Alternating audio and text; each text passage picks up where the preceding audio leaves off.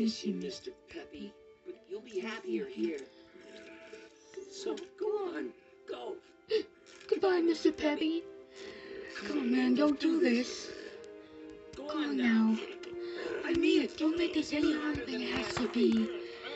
It's time to let go. Ow! Thanks, Thanks, Leela. Leela. You just need a little extra push.